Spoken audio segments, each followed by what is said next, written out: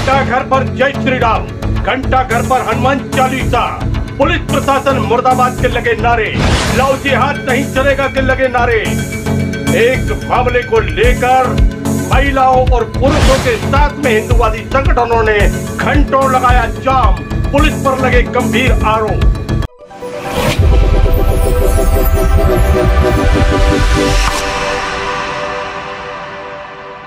नमस्कार, समाचार विस्तार से। घंटाघर पर जय श्री राम घंटाघर पर हनुमान चालीसा और घंटाघर पर पुलिस प्रशासन मुर्दाबाद के नारे लगे। गुंजायमान होते रहे ये नारे लव जिहाद नहीं चलेगा, जैसे नारे भी लगे। पुलिस प्रशासन मुर्दाबाद के नारे लगे। घंटों चारों ओर जाम रहा।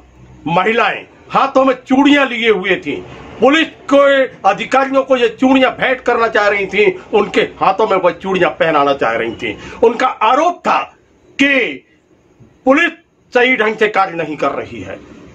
और इसी कारण से घंटा घर पर हिंदूवादी संगठनों के साथ में बड़ी संख्या में महिलाएँ और पुरुष एकत्रित हो गए। घंटों जाम रहा घंटा घर पुलिस प्रशासन के हाथ पैर फूल रहे थे। मामले को लेकर जिस प्रकार भीड़ जमा हो रही थी। पुलिस के बड़े अधिकारी और पुलिस प्रशासन की टीम वहाँ पहुँची। लेकिन किसी प्रकार से जो हिंदुवादी संगठन के लोग हैं और साथ में महिलाएँ हैं, पुरुष हैं, वह मान नहीं रहे थे। उनका आरोप था कि दोपहर एक बजे जब रिपोर्ट की गई है, तब से लेकर पुलिस ने अभी तक कोई कार्रवाई नहीं की है। मामला एक लड़की को दूसरे वर्ग के एक लड़के के द्वारा भगाए जाने का आरोप है। लव जिहाद का आरोप है और ऐसा स्थिति जब निर्मित होने लगी, जब स्थिति गड़बड़ाने लगी तो फिर तहसीलदार बबीता राठौर स्वयं बोलेरो की गाड़ी चलाते हुए वहाँ पहुँचे। पहुंचकर स्थिति का जायजा लिया।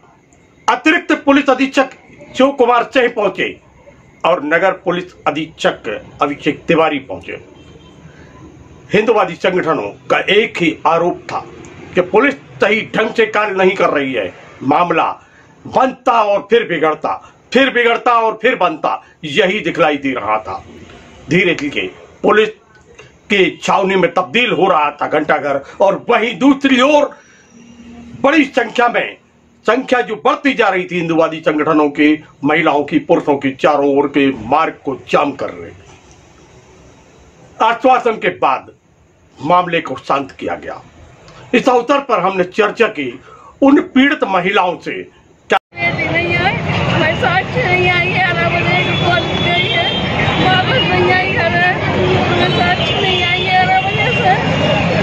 है रिपोर्ट की है रिपोर्ट की है? आपने? पुलिस में शिकायत की आपने? पुलिस में शिकायत पुलिस पुलिस नहीं सुन रहा है कुछ नहीं कर रहा पुलिस वाले रात हो गई क्या करना है हमारी बेटी नहीं आई है मैं साक्षी नहीं आई ग्यारह बजे की कॉल गई है घरे नहीं आई वापस नहीं साक्षी ग्यारह बजे की कॉल गई नहीं साक्षी कौन कोर्ट वापस नहीं सुन रही है पुलिस क्या बोल रही- पुलिस- क्या बोल रही है?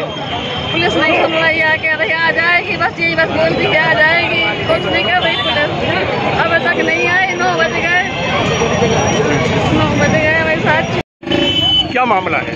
हमारी बेटी को हमारे मोहल्ला का एक लड़का ले गया। हाँ वापस करिए और गिरफ़्तार करो उनके घर के लिए। पैसे भी ले गए कुछ हमने सुना ले गई होगी कितना पैसा है? अब देनिया भी बता सकती कॉलेज गई थी कॉलेज से गोल हो गई साढ़े ग्यारह बजे। किस आरोपी कौन है आपके हिसाब से? कौन ले गया? राजा खान। राजा खान ले गया है। पुलिस में शिकायत की तो पुलिस ने सुनवाई नहीं कर। आज बड़ी संख्या में महिलाएँ और पुरुष यहाँ एकत्रित हुए हैं। चूड़ियाँ हाथ में लिए हैं। क्यों कारण? क्या कारण है? हम लोग एक बजे की रिपोर्ट करी है। कोई सुनाई नहीं है। पुलिस वाले सुनने लिए उनके लिए पहना के पहनाने के लिए लिए हैं। पुलिस क्या कह रही है? पुलिस कुछ नहीं करी करी आ जाएगी बेटी आ जाएगी बेटी कब आ जाएगी बेटी। एक बजे की रिपोर्ट करिए नौ बजे का रात के। रिपोर्ट लिखी है नहीं लिखी? लिखी है हम सात बजे के कोतवाली में बैठे हैं। हाँ। उसके बाद यहाँ आए हैं। तो ये सुनाई नहीं हो रही है। ये चूड़ियाँ आप लोगों ने भेंट की तो ली पुलिस ने कि नहीं ली? अभी हम लोग गए नहीं है पुलिस के पास उन लोगों ने रोक दिया पहनाने थी हाथ पकड़ पकड़ के। चले देख लो महिलाओं को सुना आपने ये वो अपनी व्यथा सुना रही थी। कह रही थी ये चूड़ियाँ हम इसलिए लिए हुए हैं कि पुलिस कार्य नहीं कर रही और पुलिस के अधिकारियों को ये चूड़ियाँ पहनाना चाहते हैं। और अब हम चर्चा करते हैं। अतिरिक्त पुलिस अधीक्षक शिव कुमार सिंह थे जिन्होंने मामले के संबंध में अपने पक्ष में क्या कहा कहा कि पुलिस कार्रवाई कर रही है और सफलता मिलेगी। क्या मामला आया है? क्या? हाँ, साक्षी साहू उम्र अठारह साल। जो जटाशंकर कॉलोनी के रहने वाली है आज वो कहीं मिसिंग हो गई। थाना कोतवाली में गुम इंसान कायम किया गया उसकी प्रॉपर जाँच की जा रही है। और उसकी तलाश के लिए कई पार्टियाँ रवाना की गई और उसकी तलाश की जा रही है। अभी काफ़ी हंगामा हुआ घंटा घर पे। वो कुछ उनके परिवारजन और कुछ संगठनों में उनके तलाशी के लिए मांग की है कि तत्काल तलाशी के लिए। हमारी पार्टी ऑलरेडी पहले से तलाशी के लिए रवाना हो चुकी है।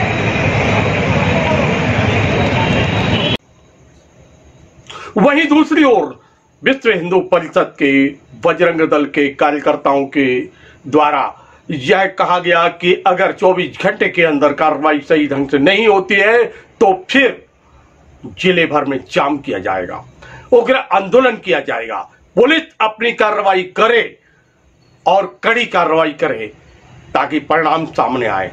अन्यथा परिणाम को भोगने के लिए तैयार रहे।